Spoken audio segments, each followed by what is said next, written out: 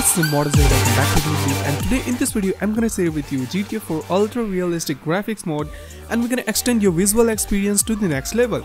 And in my opinion visual doesn't mean only graphics. So also we're gonna change your game textures and vegetation so our visuals looks great in the combination of this beautiful graphics mode and the gameplay you're watching in the background is 100% real and you will get exactly what you're watching right now. So do you want to know how to install how to use and system requirements of this graphics mode so please make sure to watch this video till end and I will guide you everything so starting with our requirements you will need 8 gigs of RAM GTX 750 Ti graphics card and any quad-core processor.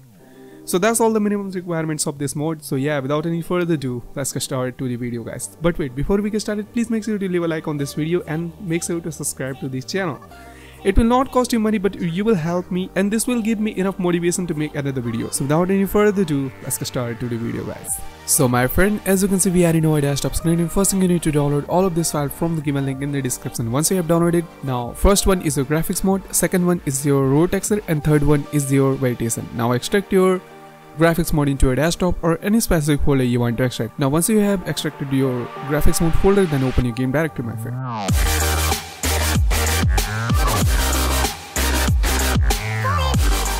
And then from here open your v1 folder. Right now just drag and drop all of this file into your game directory and then hit on replace if it has. Now go back and open your natural color. Now just drag and drop your enbseries.ini into your game directory. Right? Now from here what you need to do is extract your road mod it's a completely optional mode. It's all depends on you you want to install it or not. Now to ensure that our game looks too awesome show you how to install that. In order to do that what you need to do is open your pc then go to data then go to your cd images then just then just drag and drop this img file and replace and then hit on replace if it right now we have successfully installed our road mod into our game. Now minimize or close both of this window and then extract your vegetation mode right? Now once your vegetation mode has been extracted from here what you need to do is open your pc data and then this time go to the maps then props then open your vegetation folder. Then just drag and drop this file into your game directory. Right? Now minimize or close both of this window because we have successfully installed our vegetation mode into our pc now it's time to show gameplay. Right? Now i'll stop talking and i'll meet you in the end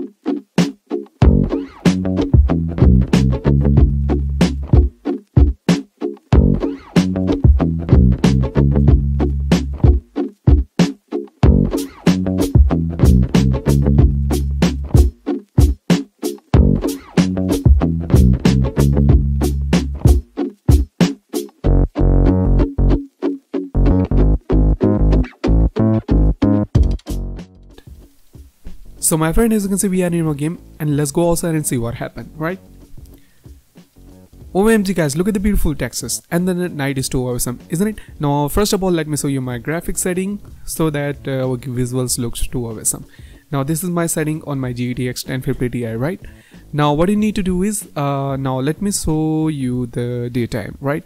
Now a game looks too awesome. So thank you so much for watching till end guys. I hope you all enjoyed this video. If you enjoyed this video then hit that like button, share this video to as much you can and uh, make sure to subscribe to this channel if you're new, right?